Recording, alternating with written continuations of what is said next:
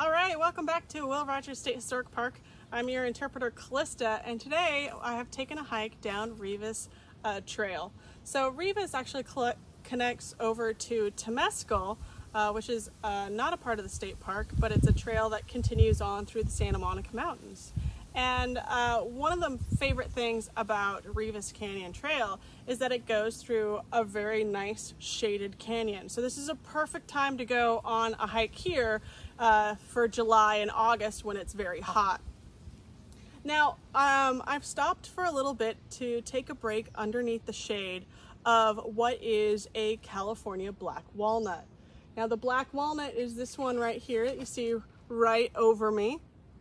I always recognize it because it has leaves where they're attached and there's one on either side of the stem. And they always have two leaves and they're very narrow. Um, and they make kind of like this medium sized kind of tree, but it doesn't always have one trunk. Sometimes it has uh, multiple split offs. The other thing about it that's really interesting is I did say walnut, right? So California has a native type of walnut, that same type of nut that you would have in the grocery store, except most of us just see the nut in the shell, right? We've never seen a real walnut before. And guess what? Right here, we have the real walnuts. And I have one of them right here.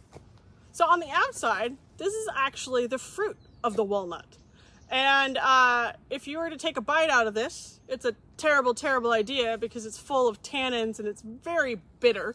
Uh, it's going to cause an upset stomach among other digestive issues, if you know what I mean.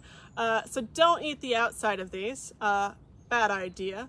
But it is really interesting because once these fall off the tree, they dry along the ground and then that fruit is going to turn into this right here. To give you a closer look at these two, this is the fruit as I was showing you. It hangs off the tree from the top and has kind of that rounded bottom.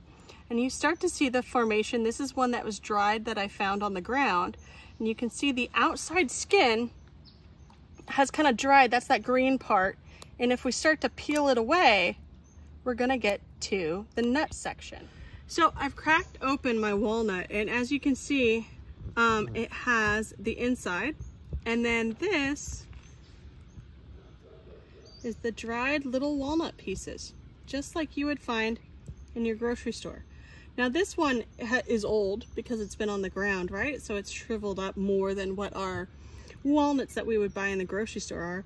And also you'll see how small it is compared to the grocery store kind. And that's because just like all of our foods in life, we have bred the walnuts that we have in the store, which are European variety, to be bigger and to last longer uh, in storage. But this one right here is uh, the California native walnut that we have, the black walnut, as I said. And this is one of the fruits that the, or one of the nuts that the Native Americans, the Tongva and the Chumash who lived in this area would collect. So just take a look, you can see there's the shell and there is the small nut that's inside. California walnuts, along with acorns, were a really important source to uh, all native peoples in California. Nuts in general, as we now know, are a superfood. They're really high in healthy fats and um, protein.